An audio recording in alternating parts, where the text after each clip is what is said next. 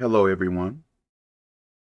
I believe demons try to make us think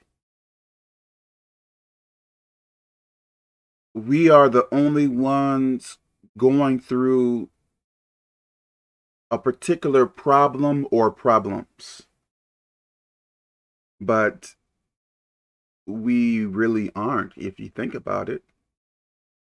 Think about the world's population. I believe there are, I don't know, maybe under 10 billion people or something like that. Are you telling me with those many people, there aren't some others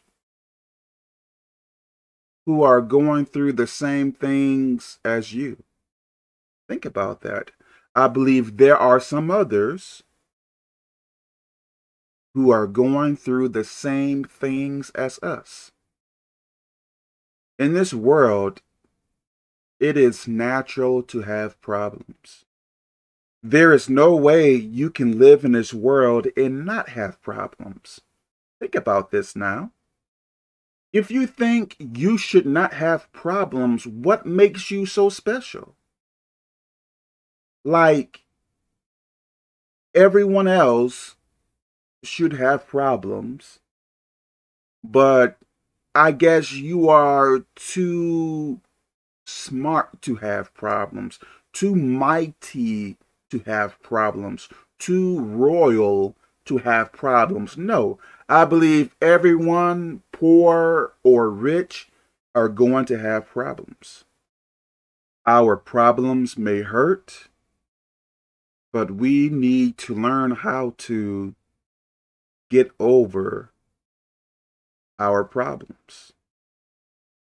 Don't let Satan, don't let demons take away your joy. I believe that is the main thing they are trying to do is to keep us to feel so low, so down, so sad, so depressed. The ones who should be feeling that way should be them, should be the demons and Satan. They should be the ones who should be feeling very depressed. Ultimately, their fate, fate is the lake of fire and torment.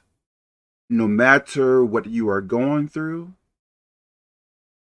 find joy in something. For instance, I find some joy in in some dogs and in some puppies.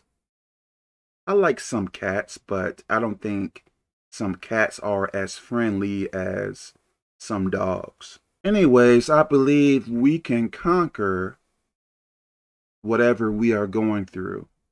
I believe we can get through it. We need God's help, but I believe we can get through it. Have faith in God and never let him go. May God bless us. I am going.